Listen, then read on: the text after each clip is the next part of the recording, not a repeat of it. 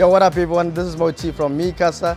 And my favorite moment from K-Day was when the crowd was going crazy, singing our songs from these streets, Heavenly Saint, just sing with us, man. So yeah, I mean K-Day, and I can't wait for the next K-Day that we're gonna do on the 29th of March, 2014. You better be there.